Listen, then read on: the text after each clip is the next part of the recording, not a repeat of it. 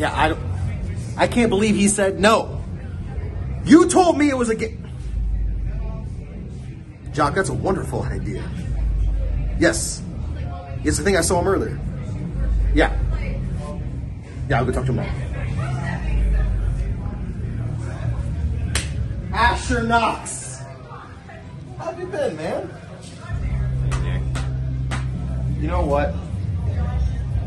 I've been watching some tape of you. You've been impressing me.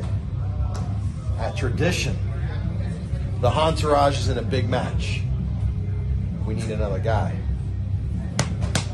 You my man? no. I mean, no.